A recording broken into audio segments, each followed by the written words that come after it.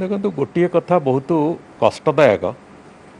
ସରକାର ବି ଜାଣିଥିଲେ କରୋନା ଜୁଲାଇ ମାସରେ ଗୋଟେ ପିକ୍କୁ ଯିବ ବୋଲି। ନିଜେ ମୁଖ୍ୟମନ୍ତ୍ରୀ ଏ ବାବଦରେ ବି ଲୋକଙ୍କୁ ଅନୁରୋଧ କରୁଥିଲେ ଜୁଲାଇ ମାସରେ ପିକ୍କୁ ଯିବ। କୌଣସି ବି କାରଣରୁ ହଉ ଜୁଲାଇ ମାସରେ ଆଜି ପ୍ରତିଦିନ ଯେଉଁ ଦରରେ ବଢ଼ି ବଢ଼ି ଚାଲିଛି ସଂକ୍ରମଣର ହାର ଏ ନିଶ୍ଚିତ ଭାବରେ ଏକ ଚିନ୍ତାଜନକ ବିଷୟ। ଆଜି ଦୁର୍ଭାଗ୍ୟର କଥା ହେଉଛି ସରକାରଙ୍କର ତା ପାଇଁ ଯେତିକି ପ୍ରୋଆକ୍ଟିଭନେସ୍ ଦରକାର ଥିଲା ସରକାରଙ୍କର ଯେତିକି ଯୋଜନା ଦରକାର ଥିଲା ସରକାର ସେ ଯୋଜନା ଆଜି ତାରିଖରେ ଭୁଲି ଯାଇଛନ୍ତି କେଉଁଠି ଏଭଳିଆ ଲାଗୁଛି।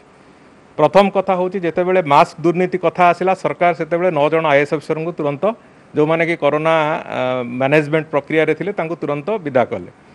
ଆମେ ଯେତେବେଳେ ପ୍ରଶ୍ନ କଲୁ ସେ ବାବଦରେ ସରକାରଙ୍କ ମୁଖପାତ୍ର ସେତେବେଳେ କହିଲେ ଯେ କରୋନା ଯୋଦ୍ଧାମାନେ ହାଲିଆ ହୋଇଯାଇଛନ୍ତି ନୂଆ କରୋନା ଯୋଦ୍ଧା ସେଠି ତା ଜାଗାରେ ଆମେ ଦେବୁ। ଆଜି ତାରିଖରେ ନୂଆ କରୋନା ଯୋଦ୍ଧା କେହି ତାଙ୍କ ଜାଗାରେ ରିପ୍ଲେସମେଣ୍ଟରେ ଆସିଲେ ନାହିଁ। କରୋନା ମ୍ୟାନେଜମେଣ୍ଟ କିଏ କରୁଛି ସରକାରଙ୍କର ସେ କଥା ବି ଆଜି ତାରିଖରେ ଜଣାପଡ଼ୁନାହିଁ। ଏବଂ ଦୁର୍ଭାଗ୍ୟର କଥା ହେଉଛି ଯେଉଁ କଣ୍ଟ୍ରୋଲ ରୁମ୍ ଥିଲା ଏବଂ ଯେଉଁମାନେ ବିଶେଷ କରିକି କରୋନା ମୁକାବିଲା ବାବଦରେ ଗୋଟେ ରେଗୁଲାର ମନିଟରିଂ କରିବା ପାଇଁ ଯେଉଁମାନଙ୍କୁ ଦାୟିତ୍ୱ ଦେଇଥିଲେ ସରକାର ଆଜି ତାରିଖରେ ସେ ପ୍ରକ୍ରିୟା ବି ବନ୍ଦ ହୋଇଯାଇଛି। କଣ୍ଟ୍ରୋଲ ରୁମ୍ର ସ୍ଥିତି କିଛି ଜଣାପଡ଼ୁନାହିଁ।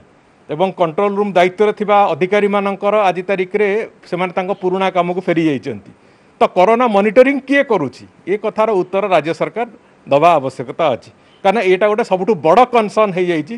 ଯେତେବେଳେ ସଂକ୍ରମଣ ବଢ଼ି ବଢ଼ି ଚାଲିଛି ସେହି ସମୟରେ ଯଦି ରାଜ୍ୟ ସରକାର ଏଭଳିଆ ରିଲାକ୍ସଡ ମନୋଭାବ ନେବେ ସେହି ସମୟରେ ଯଦି ରାଜ୍ୟ ସରକାର ଏଥିରେ ହେଳା କରିବେ ମ୍ୟାନେଜମେଣ୍ଟ ଠିକ୍ ଢଙ୍ଗରେ ନ କରିବେ ବାସ୍ତବରେ ଓଡ଼ିଶା ପ୍ରଦେଶରେ ଏକ ଭୟାବହ ସ୍ଥିତି ତିଆରି ହେବ।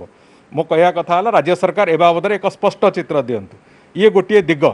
ଦ୍ୱିତୀୟ ଦିଗ ହେଉଛି ଟେଷ୍ଟିଂ ବାବଦରେ ଆମେ ବାରମ୍ବାର କହି ଆସିଛୁ ପ୍ରଥମ ଏପ୍ରିଲ ମାସରୁ କହି କହି ଚାଲିଛୁ ଯେ ଟେଷ୍ଟିଂର ହାର ବଢ଼ାନ୍ତୁ। ଟେଷ୍ଟିଂର ହାର ରାଜ୍ୟ ସରକାର ଏପର୍ଯ୍ୟନ୍ତ ବି ବଢ଼େଇ ପାରିନାହାନ୍ତି। ପାଞ୍ଚ ହଜାର ଛଅ ହଜାର ଟେଷ୍ଟିଂରୁ ରାଜ୍ୟ ସରକାର ବଢ଼ି ପାରୁନାହାନ୍ତି। ଛଅ ହଜାର ସର୍ବାଧିକ ଟେଷ୍ଟିଂ ଗୋଟିଏ ଦିନ କରିଛନ୍ତି ନହେଲେ ବଢ଼ି ପାରୁନାହାନ୍ତି।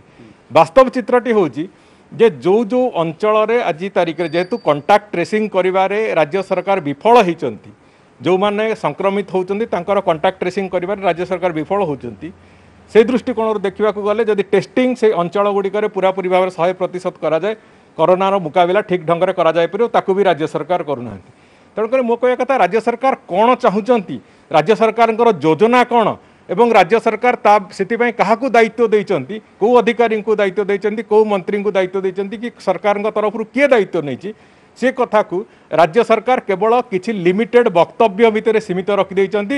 ମୁଖ୍ୟମନ୍ତ୍ରୀଙ୍କ ବକ୍ତବ୍ୟ ତାଙ୍କ ମୁଖପାତ୍ରଙ୍କ ବକ୍ତବ୍ୟ ମୁଖ୍ୟ ଶାସନ ସଚିବଙ୍କ ବକ୍ତବ୍ୟ ଏତିକି ଭିତରେ ସୀମିତ ରଖିଛନ୍ତି। ଇଏ ହେଉଛି ସବୁଠୁ ବଡ଼ ଦୁର୍ଭାଗ୍ୟର କଥା।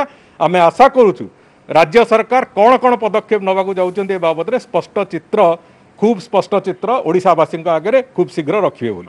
ଆରୋଗ୍ୟ ହାରର ଯେଉଁ ତାଲିକା ଅଛି ସେଥିରେ ଓଡ଼ିଶା ଏକାଦଶତମ ସ୍ଥାନରେ ଅଛି ସର୍ବଭାରତୀୟ ସ୍ତରରେ। ତେଣୁକରି ଆରୋଗ୍ୟ ହାରର ମିଛ ଦ୍ୱାହି ଦେଇକି ଏବଂ କିଛି ଦିନ ତଳେ ଗୋଟିଏ ଆଡ଼ଭର୍ଟାଇଜମେଣ୍ଟ ଯେମିତି ଦେଇଥିଲେ ଅଲଗା ଦେଶ ଯେଉଁଗୁଡ଼ିକରେ ସାଢ଼େ ଚାରି କୋଟି ପାଞ୍ଚ କୋଟିର ଜନସଂଖ୍ୟା ଅଛି ସେଠି ମୃତ୍ୟୁ ହାର ଏତିକି ଅଛି ଓଡ଼ିଶାରେ ଏତିକି ଅଛି। ମୃତ୍ୟୁ ହାର ଆମର କମ୍ ଅଛି ସେଥିପାଇଁ ଆମେ ସମସ୍ତେ ସେଥିପାଇଁ ଭଗବାନଙ୍କୁ ଧନ୍ୟବାଦ ଦେବା କଥା। ଏଭଳି ମିସମ୍ୟାନେଜମେଣ୍ଟ ଭିତରେ ବି ଓଡ଼ିଶା ପ୍ରଦେଶର ଲୋକ ଏ ସଂକ୍ରମଣରୁ ନିଜେ ବଞ୍ଚି ପାରୁଛନ୍ତି ଏଥିପାଇଁ ଭଗବାନଙ୍କୁ ଧନ୍ୟବାଦ ଦେବା କଥା।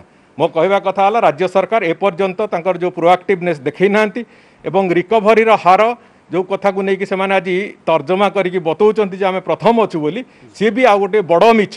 ନିଜକୁ ନିଜେ ସାନ୍ତ୍ୱନା ଦେଲେ ଚଳିବ ନାହିଁ। ଏ କଥାରେ ସିଧାସଳଖ ଭାବରେ ସରକାର ତାଙ୍କର ନିଷ୍ପତ୍ତି କ'ଣ ତାଙ୍କର ନୀତି କ'ଣ ତାଙ୍କ କାର୍ଯ୍ୟଦକ୍ଷତା କ'ଣ ସେ କଥାର ଏକ ସ୍ପଷ୍ଟ ଚିତ୍ର ଦେବା ଦରକାର ଅଛି।